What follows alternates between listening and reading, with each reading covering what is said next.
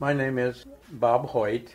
Hoyts in the early uh, 1900s were fairly prominent in the area.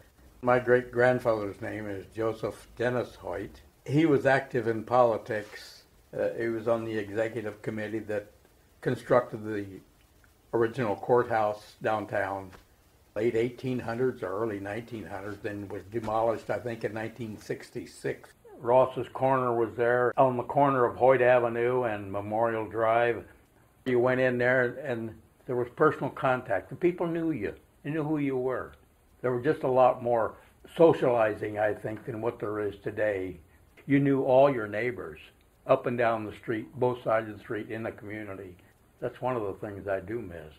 I tell my grandchildren, don't ever forget you're a Hoyt. I said, you know, we've been over here since 16 or 1700s. I think it's very important that you know the history not only of Muncie but of this country and how it was founded and why it was founded. What I'm leaving behind is what I've documented on this video that I made of great grandfather. I've digitized most of my slides, and that's what I do every day.